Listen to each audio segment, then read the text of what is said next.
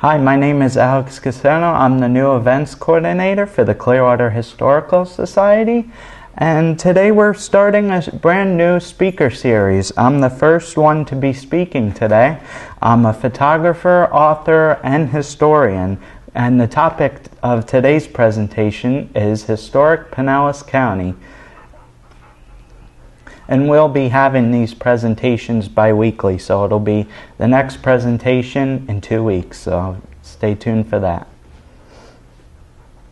So, how Pinellas County became a county. On January 1st, 1912, Pinellas County officially separated from West Hillsborough County. Pinellas County got its name from the Spanish as they referred to this area as Punta Pinal, which means Point of Pines. Now we're going to journey into Tarpon Springs. This is a Tarpon Springs Sponge Exchange. It was founded by John Cheyney and Ernest R. Mears between 1907 and 1908. It was a place for sponge diving crews to auction their sponges to the shop merchants and bidding sponge dealers. The auction took place twice a week. Uh, the Sponge Exchange officially closed and part of it was demolished in 1981. In 1983, a shopping village was opened and currently exists on this historic site. Some of the remnants of the old sponge exchange still exist. And a lot of these photos, actually most of these photos, are taken by me. The, so now we go to the Tarpon Springs Historical Museum. The Orange Belt Railway arrived in Tarpon Springs in 1887. The first railway depot was destroyed by a fire in 1908. In 1909, the second and current building was built. By the 1970s, rail service had ended and the building became the home of the Tarpon Springs Historical Society, and the museum maintains several historical collections and artifacts related to the history of Tarpon Springs. Now we journey on to Palm Harbor. This is the Palm Harbor Museum. It was originally the home of Thomas and Ida Hartley and their family. Thomas bought the property from his father and built the family's home between the years 1914 and 1919. In 1996, the property was acquired by the by Pinellas County. In 1998, the Palm Harbor Museum was open to the public. This is the Boot Ranch. Boot Ranch was a cattle ranch owned by Al Boyd in Eastlake, which is a section of Palm Harbor. The ranch featured Brahman cattle, and the boot was constructed by Lawrence Auden, who was a good friend of Al Boyd. Or in the early 1950s, it was constructed. The boot is still standing today. It's located in the shops of Boot Ranch Plaza. Now we venture into Dunedin. This is Honeymoon Island. Er, it acquired its name from the newlywed couples that spent their honeymoon on the island. In the 1930s, a man by the name of Clinton Washburn purchased the island. In 1940, 50 honeymoon cottages were built. Unfortunately, the cottages fell into disrepair. The land was sold in the 1960s to a developer who was planning a residential development on the island. In the 80s, the state of Florida turned Honeymoon Island into a Florida state park, which still remains to this day.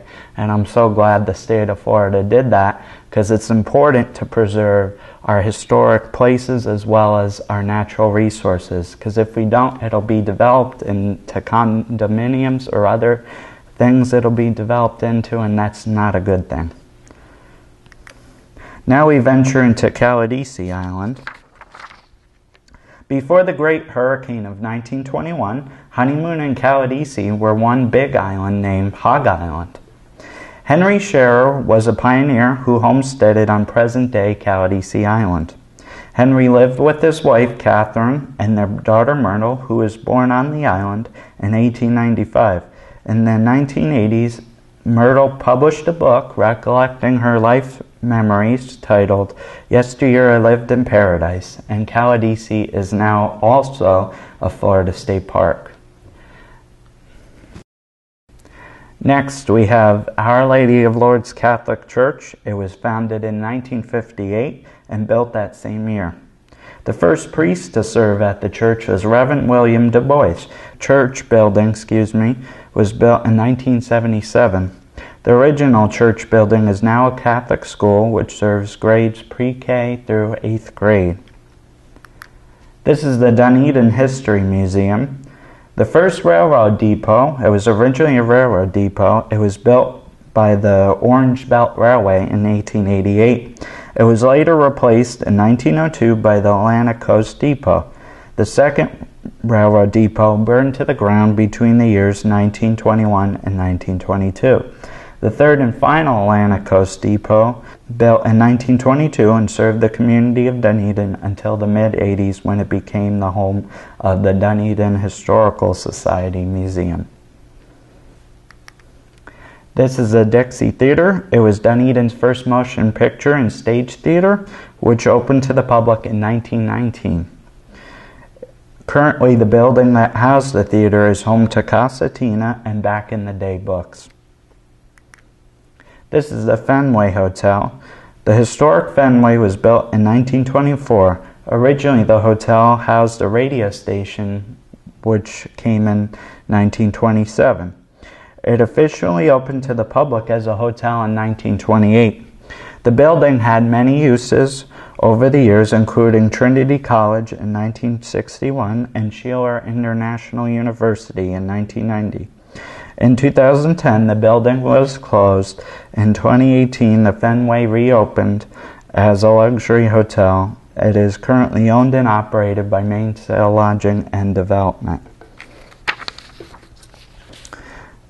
Next, we have the Dunedin Public Library, which is the oldest library in Pinellas County. It was started by Mr. C.B. Burden in 1895, who donated 200 books for public use. Originally, the library was housed in a building located in present day Edgewater Park. In 1935, the city of Dunedin took over ownership of the library. In the 1950s, the library moved to a building located on Loudon Avenue, which is the current City Hall of Dunedin.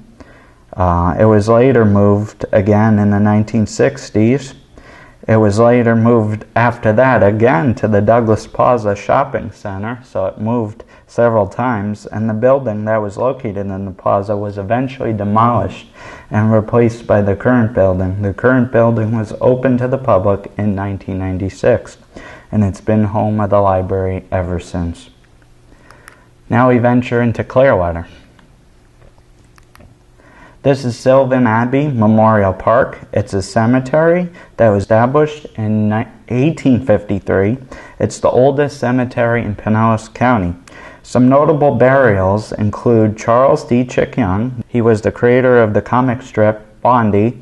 Alfredo Antonini, who was a famous conductor for CBS Music and CBS TV. Angelo Dundee, who was a famous boxing trainer. Courtney Campbell, who was the namesake of the Courtney Campbell Causeway, which connects Clearwater to Tampa. This is Sam Ash and the historic kapok tree. In the 1870s, the man by the name of Robert Hoyt planted one of two kapok trees that he bought from India.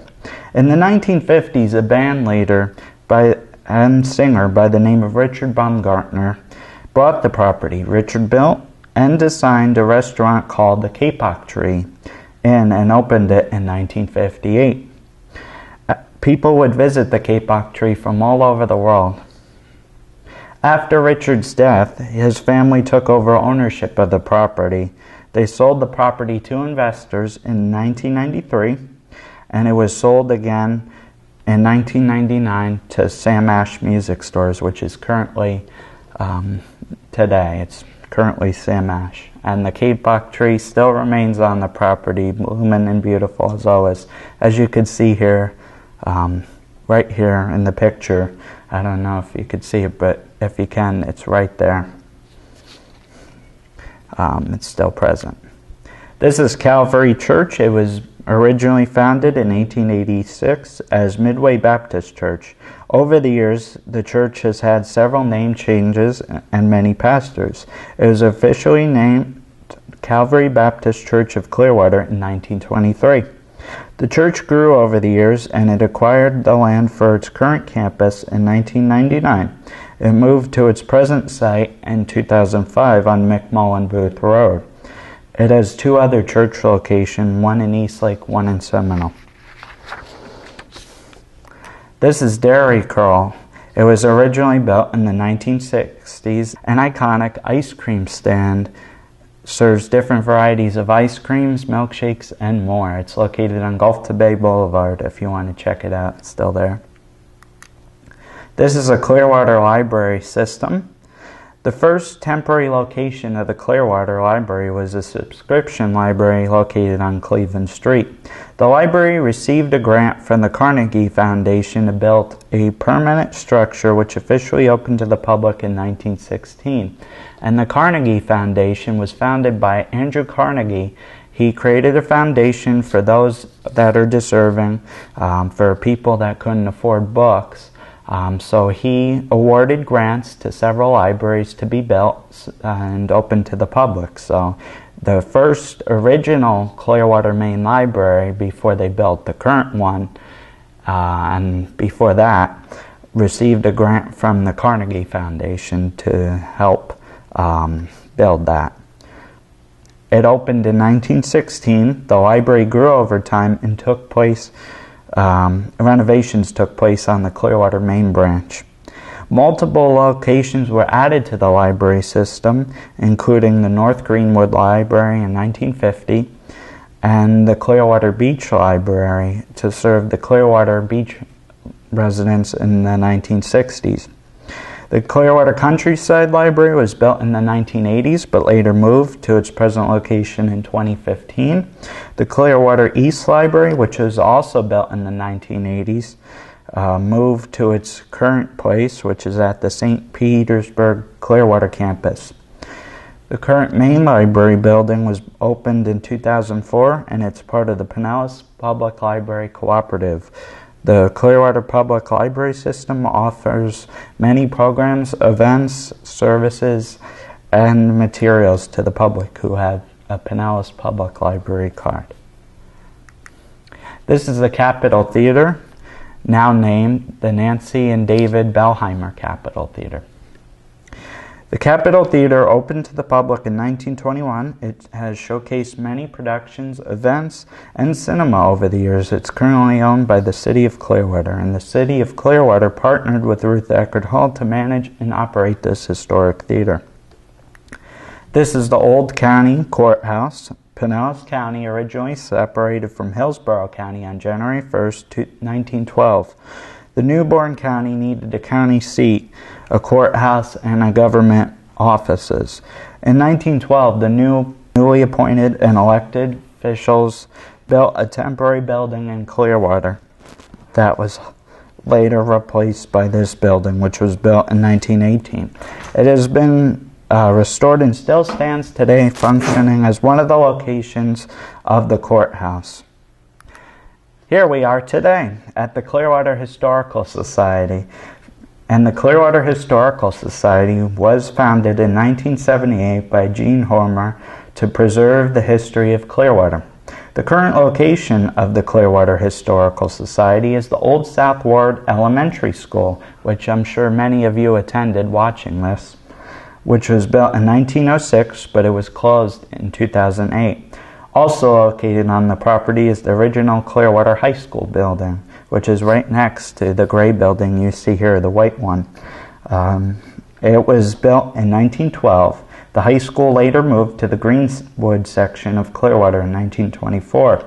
The high school building, located on the property, also served as the Clearwater Junior High School from 1924 until 1964. The Clearwater Historical Society is currently open to the public, and I'm glad it is, and I'm glad to be here, as well as the new events coordinator. This is the Bellevue Inn, formerly the Bellevue Biltmore, the Hotel Bellevue. It was originally built by Henry Plant in 1897. Henry Plant was a railroad magnate, and he was famous for building the Tampa Bay Hotel, now the home of the University of Tampa and Henry B. Plant Museum. Henry son, Morton Plant was famous for founding the Morton Plant Hospital in Clearwater in 1916. The Bellevue Biltmore had 145 guest rooms, and many famous guests stayed in the hotel, including presidents, dignitaries, uh, musicians, and other uh, people that were important stayed at the Bellevue Biltmore. The hotel celebrated its 100th anniversary in 1997. It fell into decline and closed in 2009. In 2016, a developer by the name of JMC Communities developed a plan to save the historic Bellevue Biltmore, and they preserved a portion of the hotel. It reopened to the public in 2018 and is owned and operated by the Opal Collection. This is Ward Seafood Market. It's been a staple of Clearwater's area for fresh fish. It all started in eight, uh, 1955 when Millie Ward and her husband Johnny Ward started selling fresh fish that they would catch locally. Ward's quickly grew and built their current building in 1956. It's still family owned and operated to this day. This is Bob Heilman's Beachcomber. It's located on Clearwater Beach. It was started in 1948 by Robert and Eva Heilman. In 1959, the original building was destroyed by a fire. Robert and Eva quickly rebuilt the restaurant and reopened it soon after the fire. It has been a popular restaurant and still remains in Clearwater Beach. It is still family owned and operated. Now we venture into Oldsmar. This is the Oldsmar Historical Society and Museum. It occupies in the Oldsmar Bank Building, which was built in 1918 by Ransom Eli Olds, who was the namesake of Oldsmar. Ransom E. Olds was the founder of the Oldsmobile Motor Company, and not only did the building serve as the Oldsmar Bank from 19, uh, from 1920 to 1933, but it had many other uses, including a machine shop, a location for the Oldsmar Post Office, a grocery store, the town's youth center, Oldsmar City Hall, and the Oldsmar Library before it became the home of the Oldsmar Historical Society. And when Ransom Eli Olds purchased uh, land in Oldsmar, he envisioned it to be a retirement community for people to come and live there. So that's why he decided to name it after him. Now we venture into Safety Harbor, which was originally called Green Springs. This is Philippe Park. It became a Pinellas County park in 1948, which makes it the oldest park in the county. It was originally the home of Ode Philippe, who introduced Fran- uh, citrus from France to the Tampa Bay area. Some of the park's features include a historic Native American Tocobaga temple mound, a memorial dedicated to Odet Philippe, a playground for children, nature trails, picnic shelters, as well as many other amenities. And you could visit there today. It's a nice park. It's a beautiful uh, thing to do. Now we venture to the Safety Harbor Resort and Spa. It was originally called the Espiritu Santo Springs, which means Holy Spirit Springs. It's believed the waters have healing powers. The springs were originally discovered by Hernan- Hernando de Soto, excuse me. Hmm. In 1926, it became the Safety Harbor Sanatorium. The property was later sold in 1945 to Dr. Salem Baranoff, who t- turned the location into a health spa. It was it's currently the Safety Harbor Resort and Spa. Dr. Baranoff was instrumental in the creation, or not the creation, but helping with keeping the Safety Harbor uh, Library alive. He gave a lot of money, and you know the oak tree right next to the Safety Harbor Library that was named in honor of Dr. Baranoff, who gave a lot of money to help the library continue. So that's why they named it the Baranoff Oak. And next time you go there, uh, you could see this magnificent 500 year old oak, um, and it's gated. You can't go it, touch it, but you can see the Baranoff oak, which is a historic oak tree. Now we venture into Pinellas Park. This is the Barbara S. Ponce Public Library, formerly the Pinellas Park Public Library. It was originally organized in 1948. The currently library building was built in 1969. Barbara S. Ponce served as the library director from 1985 to 1999. She was an integral part of the library and the community of Pinellas Park by adding new programs, events, and even helping with the expansion of the library in 2001. Now we move over to Anona, Bay Pines, Largo, and Seminole. And Anona is a section of Indian Rocks and Largo, so that's a, so if you're wondering what Anona is, for all those curious, it's a section of Largo and Indian Rocks. This is Largo Public Library. It was started by the Largo Women's Club. The first location was opened to the public in 1916. The library moved to its second location, which opened to the public in 1968, and moved to its third location, which was opened in 1977. It moved again in 2005 to its current site, which is located in Largo Central Park. Before the library came to Largo Central Park, that's where they would have the Tampa Bay Renaissance Festival they moved that uh, from Largo Central Park to I think uh, Tampa uh, over there in Tampa. You could still go to the Renaissance Festival, but before that, it was located in Largo Central Park, where the library is today. This is the Largo feed store. It was moved to Largo Central Park in 1920. 92 is built in 1910 and was originally run as a feed store by Francis Campbell, who owned and operated the Hotel Largo. Excuse me. She ran the feed store until she passed away in 1912. The store went through many ownership changes over the years, and it's currently the home of the Largo Area Historical Society. And the Largo Area Historical Society will be coming in June um, to be presenting on the history of Largo, so make sure you tune into that. This is the Lewis Johnson building. It was built between the years 1910 and 1911 by Lewis Dealey Johnson. It was originally a hotel, and currently the building is vacant. But it still stands, and I'm so glad it does.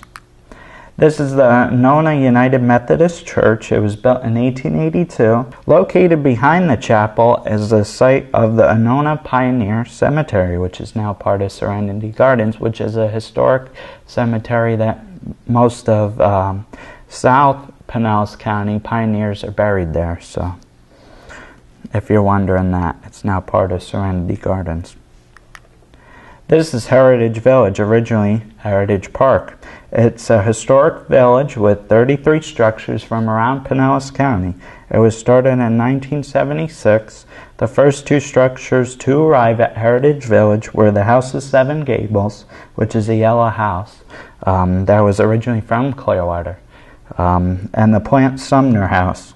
The village has two exhibit halls, including the Ralph Reed Gallery which features the collection of artifacts from uh, the Turner family who were prominent in the Clearwater area, and the Roy Helms Gallery, which features artifacts from around the county.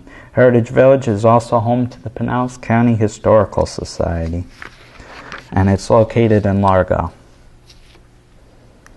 This is the Seminole Log Cabin.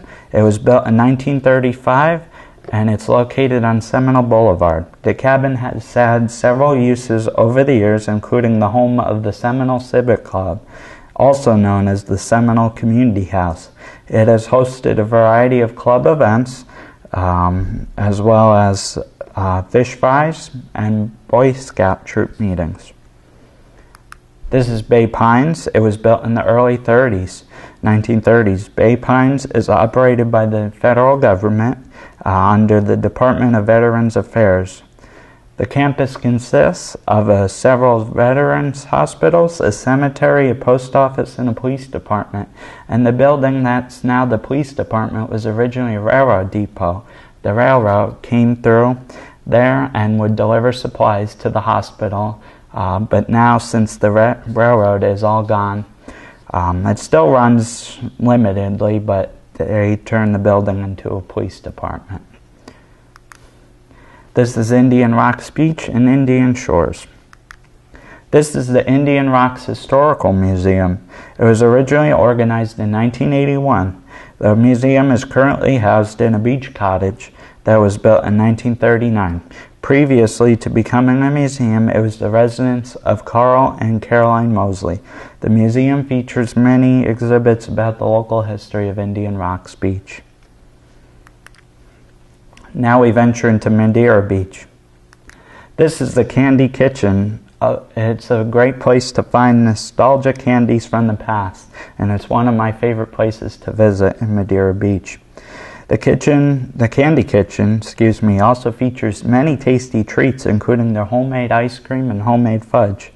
They have three locations, with this being their oldest location, founded in 1950 in Madeira Beach. The second store is located in Redington Shores, and the third store is located in Indian Rocks Beach. This is John's Pass Bridge, which connects Madeira Beach tre- with Treasure Island. In 1848, Madeira Beach and Treasure Island were split in two by a hurricane, creating John's Pass. The pass was named after John Levique, who supposedly buried his treasure before the storm of 1848, as the legend goes. Construction began on the first Johns Pass Bridge in the late 1920s, and the original drawbridge was replaced in 1971 with the new drawbridge, which was renovated in 2013. Now we go to Treasure Island. This is Gator's Cafe and Saloon, originally the Kingfish Restaurant. It was owned by the Rice family. The Kingfish restaurant was opened in the 1940s, but later closed and moved to a new location. Descendants from the original Rice family um, of the Kingfish took over ownership of the building and opened Gators, which is still there to this day. Though it has gone through many ownership changes, it still remains a strong component of Treasure Island's past, present, and future. This is St. Pete Beach in Pass-a-Grille. This is Silas Steakhouse. Um, prior to the Silas Steakhouse, it was the home of the London Wax Museum. The museum featured many different famous wax figures from the past. The museum opened to the public in 1963 and closed in 1989. Silas Steakhouse was named after Silas Dent, a hermit who lived on Cabbage Key, which is now part of Tierra Verde.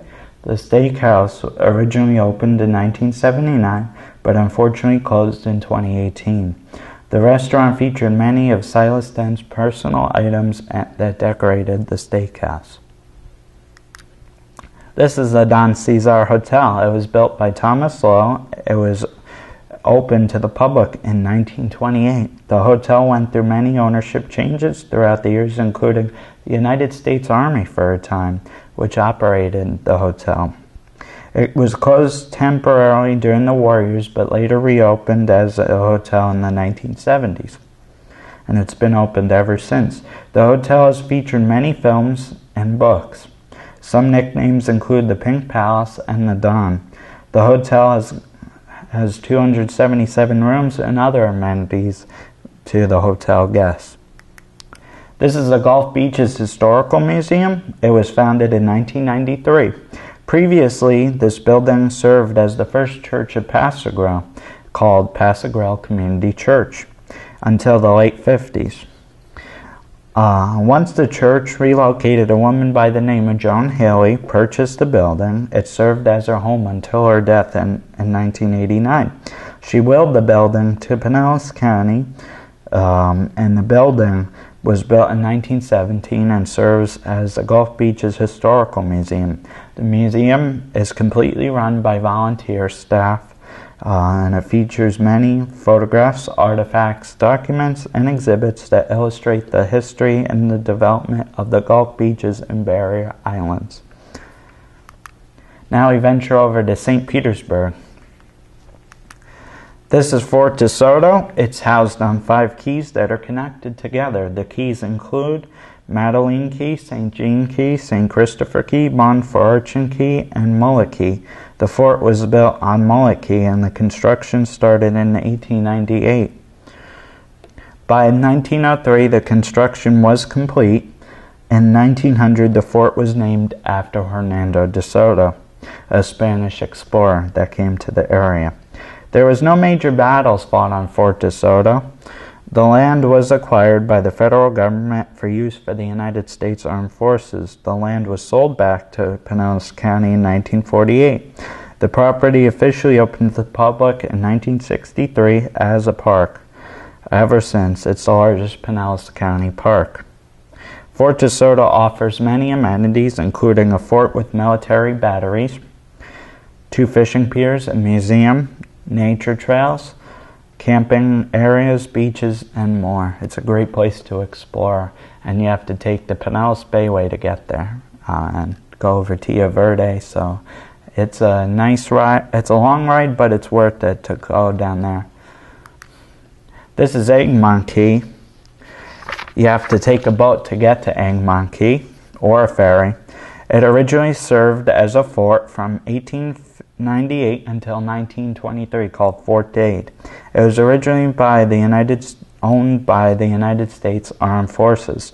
The original lighthouse was built in 1848, but it was destroyed due to a hurricane that hit the area that year, and that's the same hurricane that split Johns Pass in two. The lighthouse was rebuilt in 1858 and still remains to this day. Egmont Key is currently a Florida State Park and it's located right across from Fort DeSoto Park. This is Haslam's Bookstore, a bookstore located on on Central Avenue in St. Petersburg. Haslam's Bookstore was started in 1933 uh, by John and Mary Haslam. It is still family owned and operated. They have two resident cats named Teacup and Beowulf. They sell new, used, and rare books, and it's a great place to go to find books. I, I enjoy going there when I'm down in St. Pete. This is Sunken Gardens. It's been a popular attraction in the St. Petersburg area since 1935 when it was open to the public. The property was purchased originally in 1903 by George Turner, who was a plumber. In the 1990s, the garden was purchased by the city of St. Petersburg, and St. Sunken Gardens is still operating to this day. The garden features waterfalls, flamingos, tropical and exotic plants, and it's a great place to go on 4th Street uh, in St. Petersburg, 4th Street North. This is the St. Petersburg Open Air Post Office. It has served the community of St. Petersburg since 1917 when it first opened. In 19, it was built in 1916, a year before it opened. It was the first open air post office in the United States. The mail carriers used bicycles to deliver the mail to the residents of the city of St. Petersburg. This is the St. Petersburg Mirror Lake Community Library, originally the main community library. It was built in 1915 before uh, the Mirror Lake or the main branch of the St. Petersburg Library system. It moved um, to its current location in 1964, and this is also. Uh, like I was saying before, Andrew Carnegie awarded grants to um, libraries, and so this was another one in 1915. They got awarded a grant to be build this library. This is the St. Petersburg Coliseum. It was built in 1924. It originally served as a ballroom and dance hall, but now it serves as an event hall for various functions and concerts. It was originally owned for a time by band leader Rex McDonald. It's currently owned and operated by the city of St. Pete. And actually, when I was going to a record store, I actually found this record, uh, Dance Along with Rex, um, Rex McDonald and his Silver Kings. Um, it's his band, and it was a record that he did. It's a local pressing, so um, it's a limited edition. So I'm happy that I found that. I thought that was cool Coliseum and St. Pete history item that I have in my collection. This is a St. Petersburg pier. It has quite the history. The first pier was called the Railroad Pier, which was built in 1888. It was replaced with other piers over the years. The Million Dollar Pier, which was built in 1925, was demolished in 1967 to make way for an inverted pyramid pier, which was built in the 1970s, which is this one, and closed in 2013. It was demolished in 2015 to make way for a new pier, which is currently still under construction. The St. Petersburg Pier photograph is current courtesy of my grandmother. That's the only one that I didn't take. And thank you for letting me use that. This is St. Bartholomew's Episcopal Church. It's the oldest church in Pinellas County. It was organized in 1887 and built that same year. Dr. John Abercrombie donated the land for the church. The church still holds services in the original church building. This is Gulfport. This is a Gulfport casino which was originally built in 1906 but was destroyed in 1921 due to a hurricane that hit the area. The casino was later rebuilt in 1924, which was demolished in the early 1930s. The third and current casino was built in 1934 and was opened to the public in 1935. It, is, it still stands today and serves as a ballroom for gatherings. The casino has never housed any gambling, but has been used for various events and functions throughout the years. So this concludes my presentation. I hope you enjoyed it. And if you have any questions, please let me know. Thank you.